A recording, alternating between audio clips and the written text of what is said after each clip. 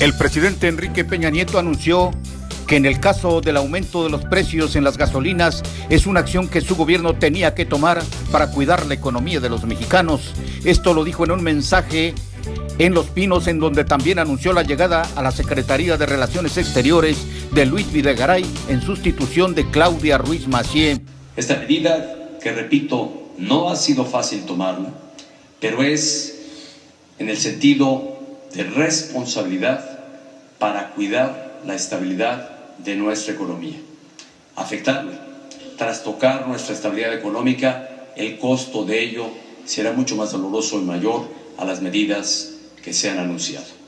Estaremos comunicando esto de forma reiterada a través de las dependencias correspondientes. Soy Daniel Flores Meneses y esta fue mi crónica.